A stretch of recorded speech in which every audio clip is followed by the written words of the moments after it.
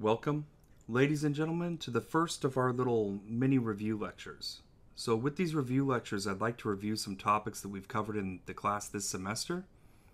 But we're going to do it by having a little fun applying these tools that we've learned to specific topics. So, today, we're going to look at the physics of cats and we're going to apply just a couple of the tools we learned just as kind of, of a review and as kind of a, a demonstration for how we use these tools we've learned to do what we call a back of the envelope calculation. Okay, I think I mentioned this at the very beginning of the semester. This class is the kind of class that should enable you to do kind of a, a back of the envelope calculation, which means kind of an approximation of a system that gets you kind of a rough answer, okay, that gets you in the ballpark. So let's start by looking at speed. And remember, we introduced the idea of speed as the magnitude of velocity in the very beginning of the class, right? And the average house cat, with no special training or anything like that, can run at speeds of about 30 miles an hour, okay? And this is about 13.4 meters per second. So we'll say VCAT equals 13.4 meters per second. Okay? So, how fast is 30 miles an hour? It's pretty quick, right? The fastest human being in the world is Usain Bolt, who managed to run during one of his better 100 meter dash performances, so V of Usain, he reached a top speed of about 12.28 meters per second. Okay? And for just for comparison, an average human's top speed when running just flat out when sprinting is usually closer to like 7 meters per second, a little over 7 meters per second maybe. Okay? So Usain was really flying here, and he was still a little bit slower than your average house cat. Okay? But really, how much slower is that? So, if a cat and Usain Bolt started at the same time, and both ran 25 meters at their top speed, we see that the average house cat would be ahead, but how far ahead would the cat be when they reach the end of 25 meters? Okay? 25 meters is like 82 feet. Okay? So, obviously, we know our, from our first physics tool that we learned in this class, 1D kinematics, right? That's what we would use to solve this kind of question, right? To answer this. So let's use 1D kinematics to look to look at this. And remember 1D kinematics was this.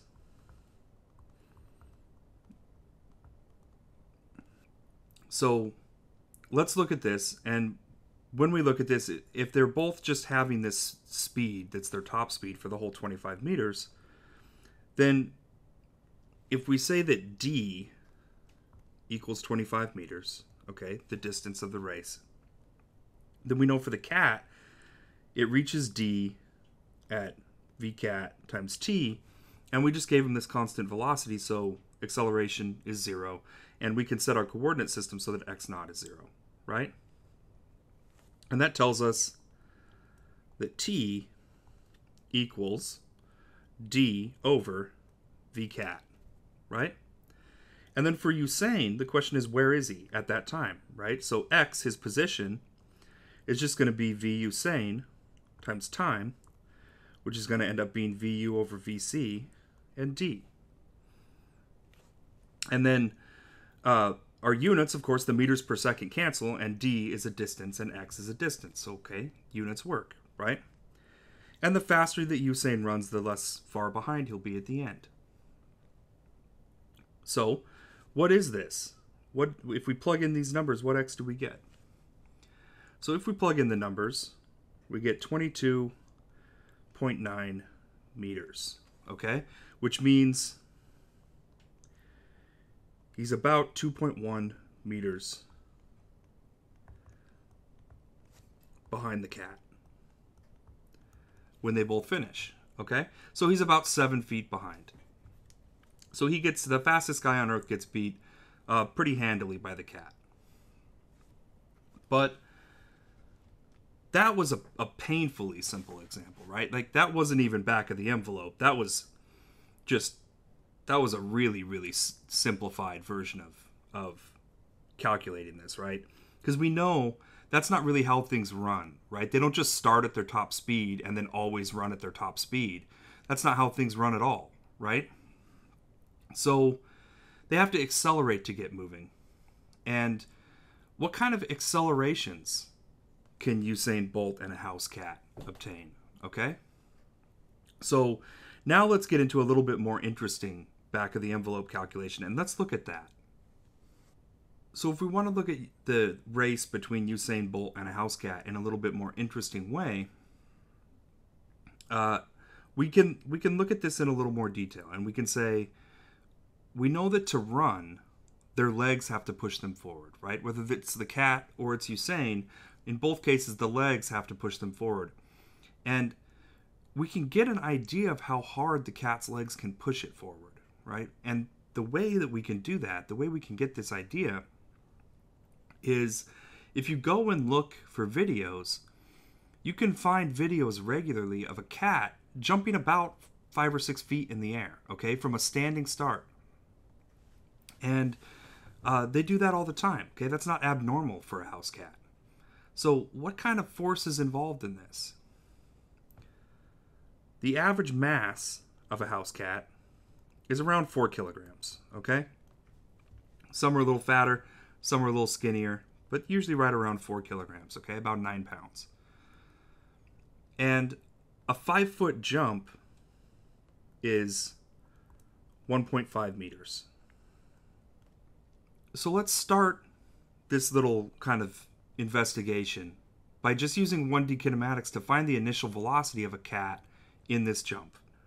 So if h is 1.5 meters, and we use our 1D kinematics equation, we know that it's going to end at h, right?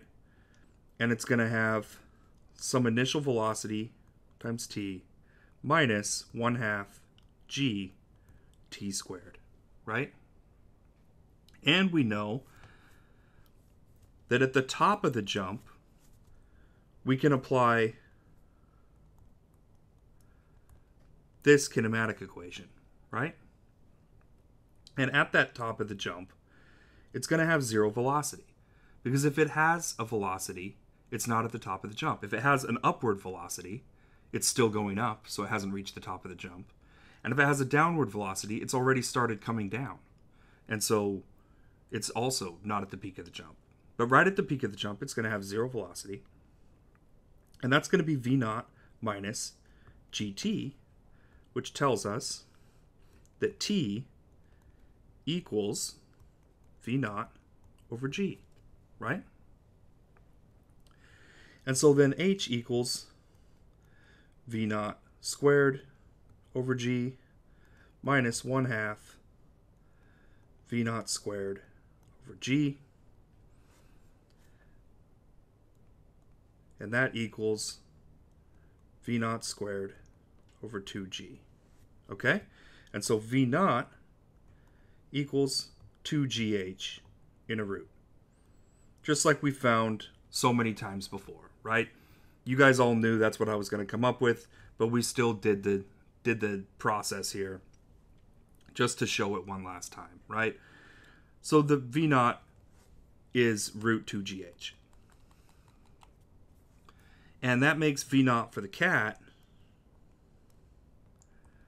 about 5.4 meters per second. Okay? But then we can go a step further than that, right? What's more interesting is the kind of force that the cat generates, right?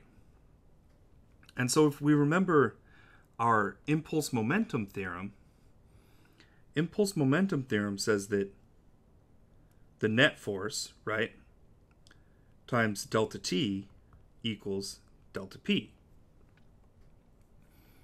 And delta t is just the time that the cat spends in the jump, okay? And we're going to call that about 0.7 seconds. Okay? That might be a little long, but it's a pretty good approximation that it takes a little, you know, less than a second to to, to engage in the act of jumping. Okay? And then delta p, of course, the initial momentum is zero, right? The cat's just sitting there. And the final momentum is just m v naught, right? This v naught from up here. Okay? So we can use the impulse momentum theorem to find the net force on the cat during this jump. And the impulse momentum theorem says that the net force is delta p over delta t, which is equal to the mass of the cat times root 2gh v naught, right, over this delta t. And that gives me a force of 30.9 newtons. But I could do the same thing for Usain Bolt, right? For Usain Bolt, his mass is going to be mu equals about 94 kilograms was the best information that I could find, okay? And uh, the best I could find for his vertical leap is h Usain equals 1.1 meters. Okay? And then I can do this same calculation. I can assume about a 0.7 second time to jump for Usain as well. And that gives us a force of 624 newtons. And these are net forces, right? The impulse momentum theorem tells us that the net force on the object that causes the change in momentum uh, is multiplied by t to find that change in momentum, right? So the forces on the jumper are the force of the jump upward and the jumper's weight downward, right? Whether it's the cat or Usain. So for the net force to be this value, the force applied by the jumper's legs has to be the force of the jumper's weight plus this net value, right?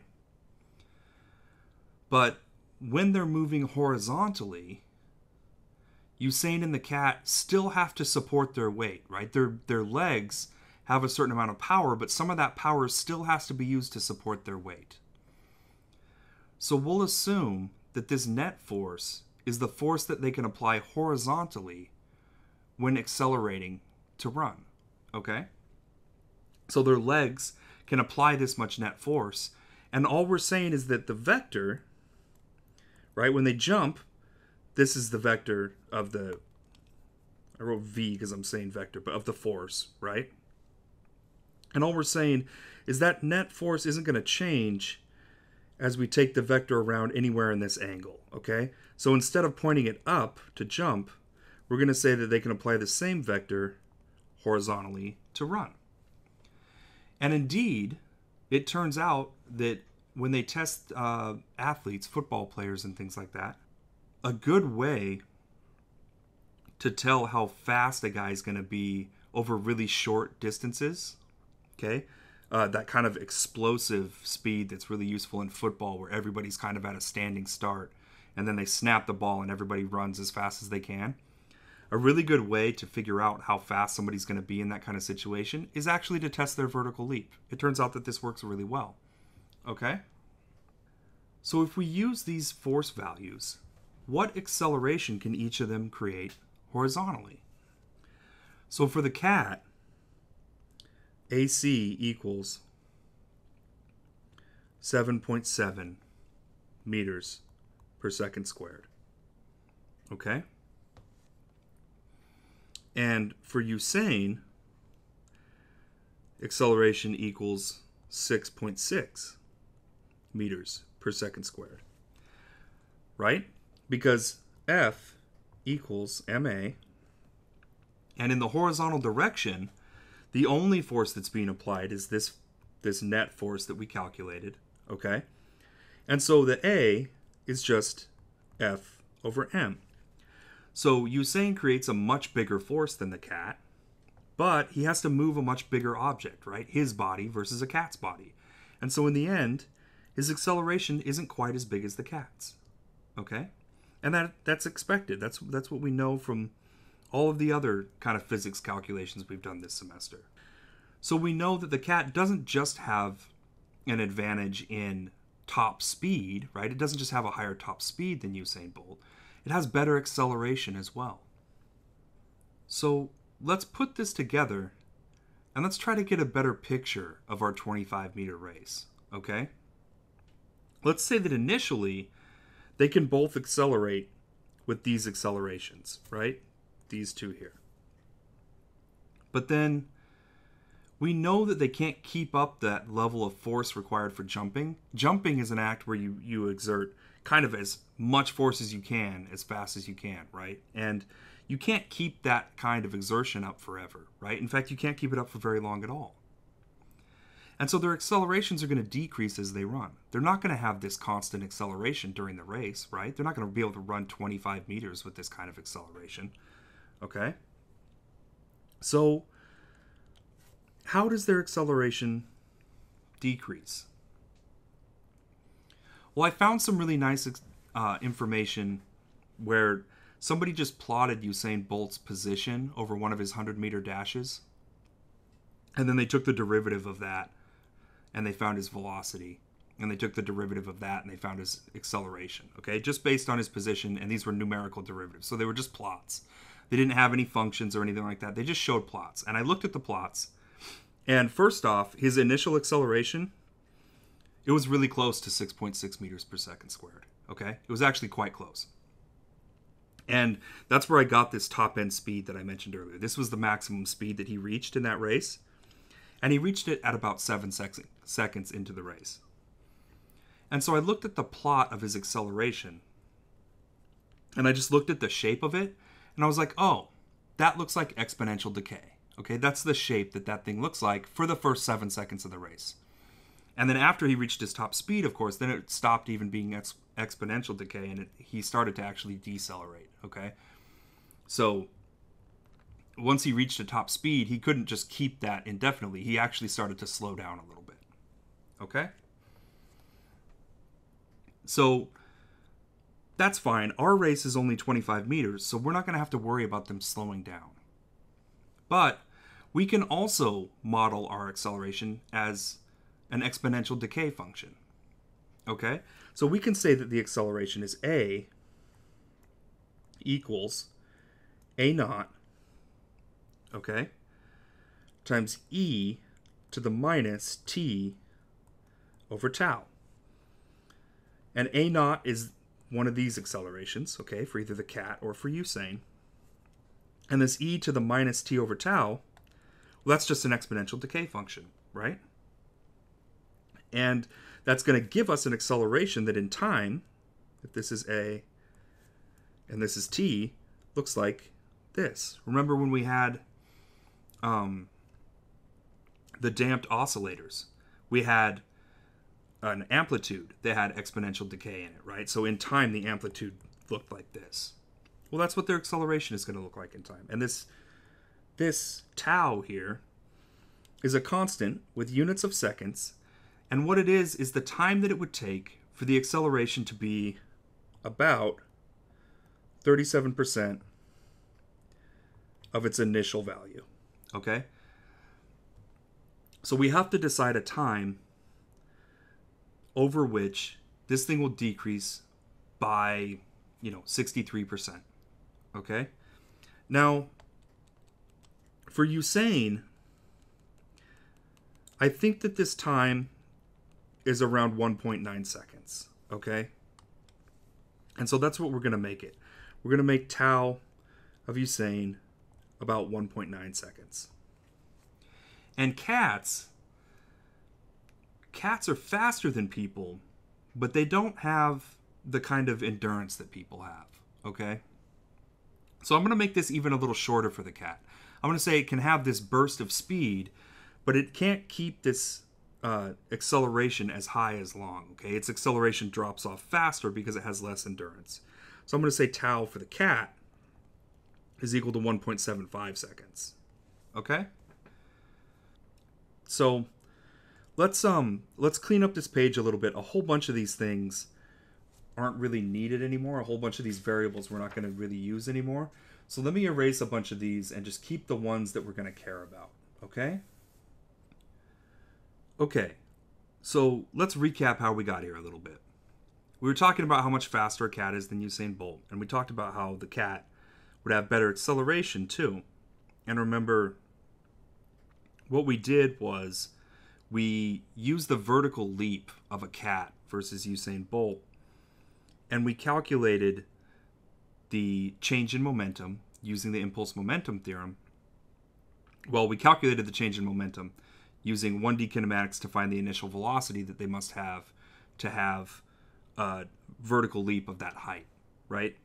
Then we used the impulse momentum theorem and we assumed a time uh, that it takes them to jump and found the force that they would have when jumping. And then we use that force to figure out what their acceleration would be in the horizontal direction if they can apply that same kind of force to move horizontally. Okay? And then what we said was they can't keep that acceleration up indefinitely. And so they're going to have this function here for acceleration. Okay? It's going to change in time. It's going to it's going to decrease through exponential decay in time. So now what we have here is an acceleration that's a function of time, right? So our 1D kinematics aren't going to work here, right? Because our 1D kinematics were for accelerations that are constant in time. So that tool's not available to us. But our back of the envelope calculation doesn't have to stop there because we can go to a more fundamental idea, right? The uh, kinematic equations were an approximation, right, that assumes acceleration is constant.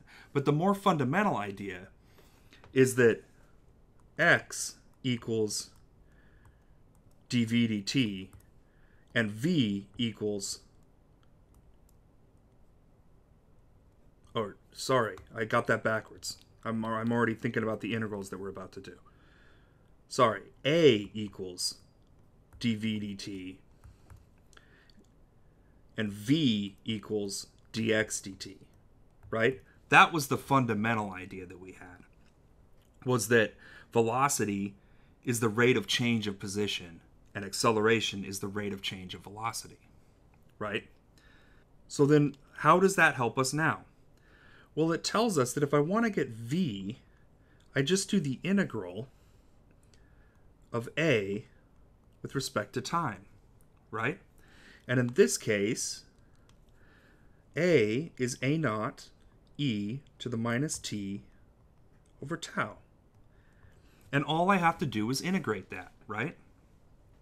And that's not so hard. So a naught is a constant. It's just a number, which means that it can come out of the integral. And I'm just going to take the integral of this little piece here with respect to time. Okay? So then when I do that, I get minus a naught tau e to the minus t over tau, and then plus c, plus some constant, okay?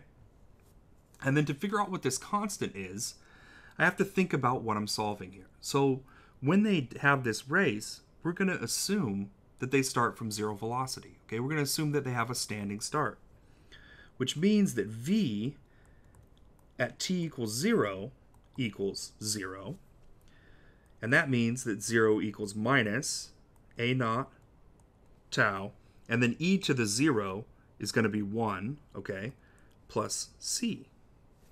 And that tells us that c equals a naught tau. Okay? So then that means our expression for v is equal to a naught tau times 1 minus e to the minus t over tau. Not so bad, right? So let's put that up here. V equals a naught. Oh, that's not a t. I think I said tau, but I wrote a t. That's a tau, right? A naught tau factored out times 1 minus e to the minus t over tau, right? because C is A naught tau. And then, of course, this first term has an A naught tau. So I pull the A naught tau out, and then the C, all that's left is a 1, and it's 1 minus right? The negative sign here, and then this piece, e to the minus t over tau. Okay, and then if we want to find the position, we just do the same trick again, right? So then we're going to have x is the integral of v, right, which is a naught tau 1 minus e to the minus t over tau dt, right? And in this thing, the only piece that has a time in it is this little guy right here, right? All the rest doesn't have a time. So this is again going to be pretty easy to integrate. And we're going to find that the integral is a naught tau t plus tau e to the minus t over tau plus c. Okay? And then we can do the same trick. We can say, okay, the runners are going to start from the position x equals 0. That's just a choice of coordinate system, right? We're just going to choose it such that x equals 0 is where they start from. So x at time 0 equals 0,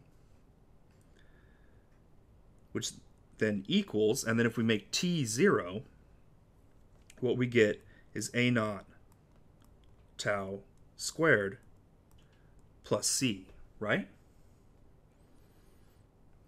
So therefore, c equals minus a naught tau squared. Okay? And then that tells us that x is going to equal a naught tau times t minus tau. Okay, that's the t from here. And then minus a naught tau squared would be minus a naught or a naught tau times minus tau, right? Would give minus a naught tau squared.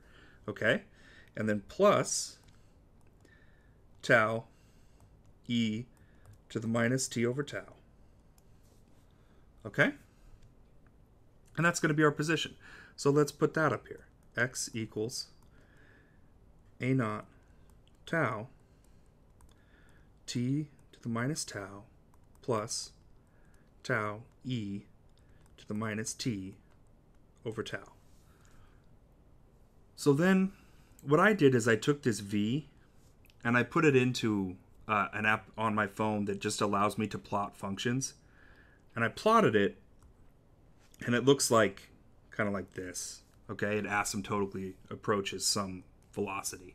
All right. And what happens is, at about seven seconds into the race, Usain Bolt is at nearly his top speed. Okay, very close to his top speed. And the speed that he's at, if I plug in the numbers that we found, is VU equals 12.23 meters per second. Okay? And if I do the same thing for the cat, I plot this this velocity function for the cat and I find the value for it at 7 seconds or if I just plug in 7 for the time here, right? 7 seconds. What I find for the cat, again, the cat at 7 seconds is nearly at its maximum velocity. And for the cat, we have a velocity of 13.23 meters per second. So now this, I think, is something pretty cool. Okay? So we said, all right, the top speed that cats can get is 13.4 meters per second. And we said the top speed that Usain Bolt can get is 12.28 meters per second. And those are just values. And then what we did was we completely ignored those and we just did a back of the envelope calculation. We said, how high can they jump? And then that means they can produce this much force. And then that means if they produce that force horizontally, they'll have this acceleration. And then we said, but their acceleration doesn't isn't constant. It's going to decay exponentially, right? And just through very simple application of the tools that you learned in this class, we can come up with this crazy function for the position of each of these racers in the race, right? I think that's pretty cool. And not only that, the velocity portion of what we figured out, right? It looks a little bit crazy too, but it produces results that almost exactly match what these measured results were in real time, okay? In that race that I looked at for reference, Usain Bolt reached his top speed at almost exactly seven seconds into the race, and his top speed was this top speed, and we found that we reproduced the very same thing, okay? and we did it through simple application of tools from this class okay that's pretty fun and that's pretty cool to come up with all right and the cat using the same tools that we came up with for Usain the cat we can also get very close to its top speed okay and that's where these taus came in these taus dictate the the steepness of this curve basically and so we can adjust those taus a little bit to make sure that we come up with the right speed. All right? So our little thought experiment is producing some really nice results. So now let's go back to our original question. If these two ran a 25 meter race, how far behind would Usain be at the end of the 25 meter race? Well, if I plot this when x is 25 meters, t is equal to 3.347 seconds. Okay? I'm not going to solve for t because it's going to be a pain in the ass. All right? But if I just plot it, I can see what t is when the y value, what we called x in this case, right? The distance is 25 meters. Okay? And we know the cat's going to finish first. So this is going to be the time, right? And then what I can do is I can take that time and I can plug it into the version of distance for Usain Bolt and just see where is Usain Bolt after 3.347 seconds. Okay? And the answer is the position of Usain at the at that time is 22.24 meters. Okay? So, a couple things to point out here. First, notice this time is a lot different than the time if we just assume that they both run at their top speed for 25 meters straight, right? If they both just run at the, their top speed for a full 25 meters, the time that it takes the cat to finish is only 1.9 seconds, okay? That's way, way less than what we actually see when they have to accelerate their bodies, right? So, our back of the envelope calculation here, where we use their vertical leap and the force they created and all that stuff, it's a much better approximation to what actually happens than them just running at their top speed. All right, this is a much much better approximation. Okay, so Usain, when the cat is at 25 meters, is at 24.24 meters, which means that he now loses. Usain loses by 2.76 meters. Okay? And in this case, this is an even bigger loss than when we just took the top speeds and ran them over 25 meters, right? And so now he loses by about nine feet. So the fastest man in the world loses an 82 foot race by about nine feet. So a pretty sizable gap. About 10% the distance of the race is what he loses by. Okay? And we got some really nice approximations just through simple application of tools that we learned in this class. And the hardest part really was doing these integrals, right? You just have to know how to integrate e to the x, okay? But other than that, it was all pretty simple little back of the envelope calculations. You really can do this with like a scientific calculator and a piece of paper, okay? You don't need a computer or anything like that. Um, I didn't use anything like that. I used, I honestly, I solved this with um, my scientific calculator that I have on my phone, and it's a scientific and graphing calculator. Because remember, I plotted these to save myself time in doing algebra that was going to be a pain in the ass. And a piece of paper. That was it. Okay. So now let's look at one more thing, right? I, I just want to look at one more thing uh, using our tools through the, the lens of cats, okay? And what I want to consider is completely separate from what we just considered. So we just considered kind of the speed of a cat, of an average cat, and compared it to the speed of the fastest person alive. Okay? So now, let's look at something else. Imagine that I have a cat held upside down like this, okay?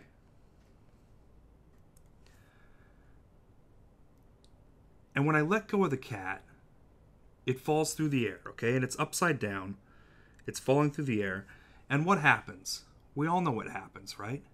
Cats always land on their feet. So it lands on the ground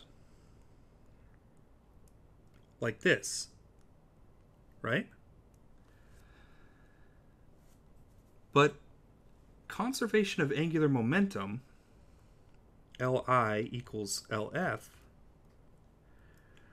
remember, conservation of angular momentum said that if there's no external torques acting on an object, then its angular momentum won't change, right? So if the cat is falling here, it's not spinning at all here. And the only outside force acting on it is gravity, right? There aren't any other forces. We don't really need to take in air drag into account for a cat, right? That's falling some short distance. So it's really just gravity that's acting on this. And gravity, remember, acts as if it's acting on the center of mass of the object. So, by definition, it's not if it's not off center from the center of mass, it's not going to apply a torque, right? It's just pulling all of the cat straight down. It doesn't apply any torque at all. So then, if the cat's angular velocity is zero at the start, right? It's not spinning at all, and we just said that there aren't any external torques acting on this cat. Okay, there aren't any forces to apply external torques. The laws of physics tell us that the cat's angular velocity must be zero all the time, right? It has to remain zero. That's a law of physics. That's conservation of angular momentum. But we know that the cat flips over, right? We've seen it done. So, what's going on here? How, how is this happening?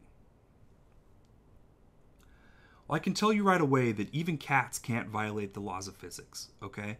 So the question is how does the cat turn over without violating conservation of angular momentum? Okay? And one answer that people come up with is that the cat spins its tail in the opposite direction. Now, a cat's tail makes up way less than 120th of the cat's mass, okay?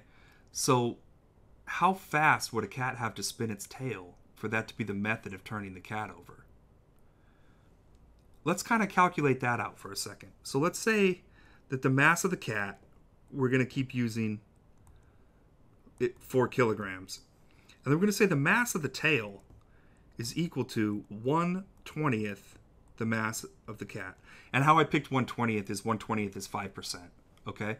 And um, a cat's mass is not 5% tail, right? It's way less than 5%.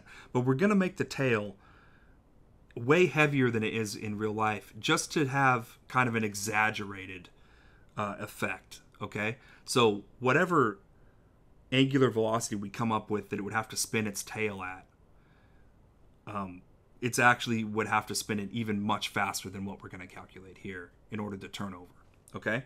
So the idea is if the cat spins his tail, so if we're looking straight on on the cat, like this, okay, and his little tail sticking up, if he spins his tail this way, then to have zero angular momentum, his body would have to spin this way, right? Because the two spins would have to cancel for angular momentum to be zero. Because we can add the vectors, right?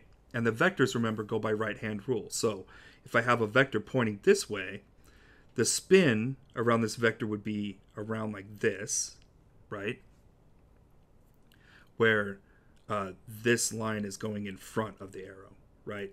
So right hand rule says that whatever arrow I make, the, th- the spin is counterclockwise around that arrow, okay? So if I if the arrow was coming right at me, right? So if this is the point of the arrow and my vector is pointing out of the page, right hand rule says this, okay? So this says if the cat's tail was spinning in a direction where the vector points into the page, this picture here, says if the cat's tail is spinning in a direction where the vector points into the page, then the cat would spin in the direction where the vector points out of the page, okay? And those two vectors would add up to zero, and that would keep the angular momentum zero, okay? Because that's the whole trick of this. The cat has no angular momentum at the start of the fall, so whatever the cat's doing in the air, all of the angular momenta have to add up to be a zero angular momentum, okay? So let's try this tail trick. Let's see how fast it would have to spin its tail like this. So let's suppose that the cat falls some distance d, and d equals 1 meter. Okay? And in that 1 meter, it turns 180 degrees. Okay? So theta equals 180 degrees equals pi radians, right? And 180 degrees means it, it flips from legs pointed in the up in the air to legs pointed at the ground, right? That's all we're saying. It just flips so that its legs are pointed in the ground. And they actually generally turn over much, much faster than this, right? If you drop the cat a meter, it wouldn't barely turn over in time for its feet to hit the ground. It turns over within the first like few inches of its fall. Okay, it turns over much faster than this. But again, we're giving this this theory its best chance of potentially producing a reasonable value of tailspin by making the cat turn over slower and making the tail have more mass than it actually has. Okay? So let's say from 1D kinematics then that our time to fall for this 1 meter, well, t is going to equal 2x over g in a root, right? Uh, this is just kind of assuming zero velocity at the start of this 1 meter. And then x is going to be d, which is 1 meter. So let's just say that our time to fall is going to be 2 over g in a root. Okay, we're going to plug the, the 1 in right now. So we have a nice simple value for t. And then the radians that the cat goes through are pi radians, right? So the angular velocity of the cat is going to equal pi over t, which is going to be pi times g over 2 in a root, right? And the units work on this because remember there's meters in the top here. This is 2 times meters. Okay? And then so the angular momentum here of the cat, of the cat's body, is L cat equals I omega. Right? That's just by definition. But then let's call the cat a solid cylinder. So we're going to model the cat and its body as just a solid cylinder. Now, is that a perfect model? No, obviously not. But it's not bad, right? A cat is kind of a cylindrical shaped object ish. So we're going to call it that, and we're going to let I then equal 1 half mr squared, where r is this radius of the, the circular part of the cylinder, right? And so then we have to come up with r, where r is some kind of uh, representative uh, radius of a cat, okay? And so we're going to say r equals 8 centimeters, all right? That's probably kind of a big cat, but um, whatever. We're going to say it's 8 centimeters, okay? And then so this L of cat equals pi over 2 m r squared g over 2 in a root. Okay? So that's the angular momentum of the cat. And then conservation of angular momentum tells us that LC plus L tail equals zero because that's what it was at the beginning, right? Li is zero. And then Lf is the angular momentum while it's flipping over, okay? And so whatever direction the cat spins, so we have LC's pi over 2 m r squared g over 2. Whatever direction the cat spins, the tail is going to spin the other way, right? And then that's going to equal zero. So then let's think about the tail for a second. The tail we can model as kind of a long rod or a stick, right? And then it's going to spin about one end like this, right? So then it's going to spin around like this around an axis on the end of the stick. And the moment of inertia for a stick spinning around one end like this is one third m L squared, where L is the length of the tail. So let's say that the tail is 0.3 meters, okay? About a foot long. I guess just over a foot. So let's say that's the length of the tail. Okay, so then LT is going to be one third ml squared i, right, times omega, where omega is the angular uh, velocity of the tail. And that equals zero now.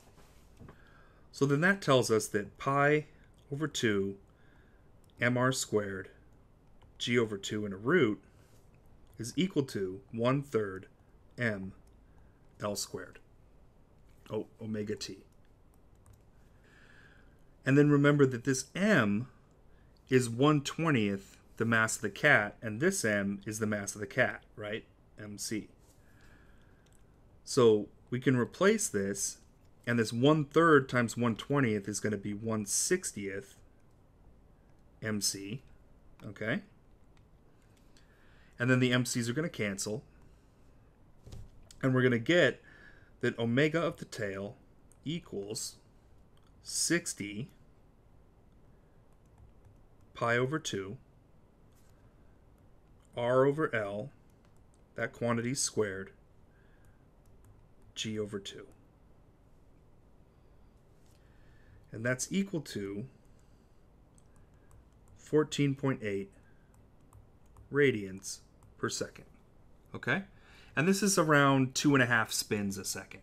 Okay? So that's a tail spinning pretty fast. And this was assuming that we had a much heavier tail than a cat actually has.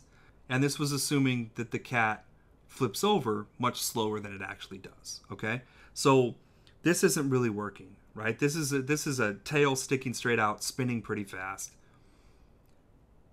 And indeed, if we watch a slow motion video of a cat flipping over, they don't spin their tail wildly. Okay, so the the tail hypothesis is out. So let's watch a video of one of my cats, Pip, landing on her feet after I dropped her upside down. Okay, and for this first time that we watch the video, just notice that she doesn't really move her tail very much at all. Okay?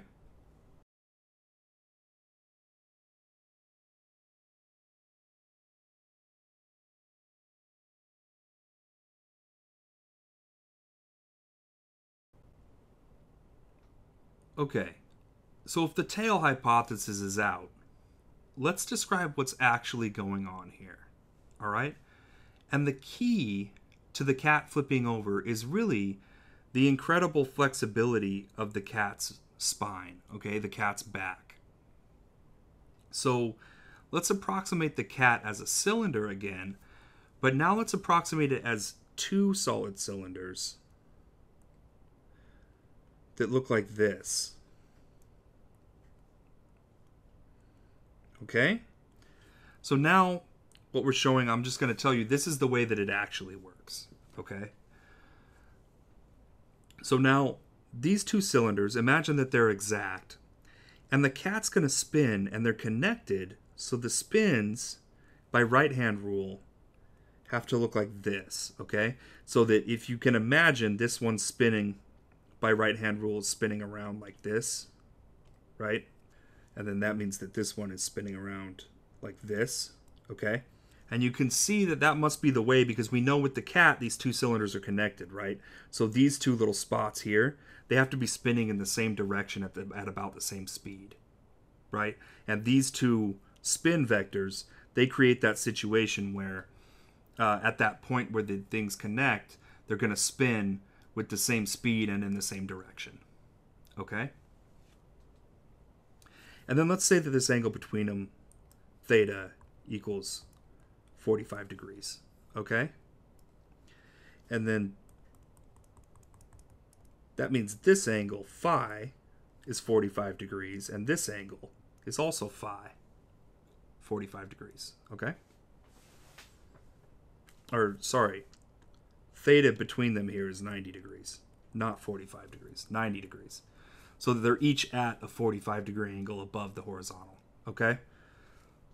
So since these two cylinders are identical, and they have the same omega, the same angular velocity, that means that L1 equals L2, okay? And we'll call this L1 and this L2. So then let's put in a coordinate system. We're just going to put in x horizontal and y vertical. And then as vectors, we can always just add uh, angular momentum vectors, right? So we just add them by components. So let's do the y direction first, okay? And in the y hat direction, the L2 that's pointed, or let's start with L1. The L1 that's pointed in the y hat would be this guy, right? And that's going to be L1 sine phi, right? And then the L2 that's pointed in the y direction is going to be like this, right? It's going to point down. And so we're going to have minus L2 sine phi. And remember, because these cylinders are identical and they have the same angular velocity, L1 equals L2. And so then this piece down here, that just equals zero, right? I'm not forcing it to equal zero, it just does. They just happen, the one point's up and one point's down, and they have the same magnitude, okay? And so they're zero. But then let's look in the x hat direction. And in the x hat direction, I'm going to have L1 cos phi, right? It's going to point this way, the positive x. But then in L2, the x direction also points in the positive x, right? I need the vectors to point like this if I'm going to create a vector that looks like this, right? So in this case, it's plus L2 cos phi. And that means that this is not zero, right? This is going to produce some positive uh, angular momentum, right? Which means that the angular momentum total for these two things spinning like this goes around this way, right? Counterclockwise around a vector that points to the right. Okay? So then if I look at kind of head on at this, the cylinders create an angular velocity that spins this way, right?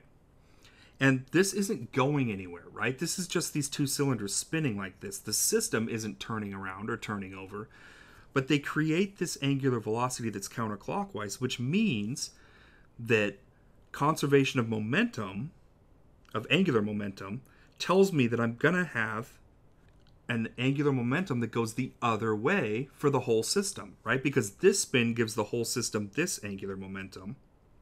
Then I'm going to have to have another angular momentum that goes the other way because of conservation of angular momentum, right? To make it zero. And indeed, what happens is when I spin these two cylinders like that, then what the whole thing, the V shape, rolls over this other way. Okay? So um, if this, okay, if the V shape is this and then it goes back here, the spinning of these things like this causes the whole thing to turn over like this. Okay? It causes the little point of the V to turn over. And so what happens is the cat folds itself up in this kind of V shape and spins its body on itself. And then that causes angular momentum, which is balanced out by turning this whole V over. Okay? And this is actually how cats manage to turn over and land on their feet without violating conservation of angular momentum. So let's watch the video of Pip again, okay? Now, my wife and I didn't get a perfect angle on this, and I used to have a video of this where I did this and Pip looked exactly like our little two cylinder diagram. Okay, it could not have been more perfect, and it was really obvious. Um, but I lost it. It was on a phone that just stopped working, and I lost the video. And my wife and I didn't want to just keep dropping Pip until we got the perfect shot, so this is the video we have. Okay, so we got to work with what we got here. So when I play the video, I want you to pay attention to a couple of specific things, okay? First, notice that as I hold Pip upside down, she's already curling her body up into a little V in anticipation of needing to flip over. Okay, so you can see when I hold her up, she's already kind of curling up into a little ball. She's already bending her spine so she makes a little V out of her body. Okay, and then, second, if you watch right as the slow motion ends, you can see that her back is arched back the other way, right? Like she's sticking her little belly out because her little belly is then the bottom of the V shape, right? And the V shape flips over as she spins her body, okay? As she spins her body on itself. And then that's, she's got her kind of belly sticking out right before she flattens out and puts her feet down to land, okay? And then lastly, notice that as she goes to spin and turn over in the air, she takes her legs and she holds them close to her body, okay? This is like the ice skater pulling her hands in to spin faster. By keeping her legs close to her body during the spin, she's reducing her moment of inertia and making it take less effort to spin around, right? And then uh, you'll notice that because she reduces her inertia like this, and because they have really flexible spines and really powerful little muscles, you'll notice she turns over from upside down to right side up in a matter of, you know, not even half a meter, a third of a meter probably, right? A few inches. So she uh, she falls a distance of mm, six or eight inches probably while turning over. Maybe more. Maybe it's like a foot, but it's not very far, right? She turns over really fast using this method. And really, the key to it for cats is that they have uh, really powerful little muscles, really great reflexes, and they have this really flexible spine that allows them to do this little V action with their body. Now, humans could start to do something similar because we could fold our legs up and make a V, right? But we can't really keep our body spinning and turn that V over very well because we can't arch our back back the other way, right? And so the key for Pip as she does this is that she's already she's kind of doing like a sit up, right? Putting her body into a V before I even let her go. And when I let her go, she's able to arch her back back the other way as the V turns over to get her turned all the way over and land on her feet nice and easy. Okay? So here's the video.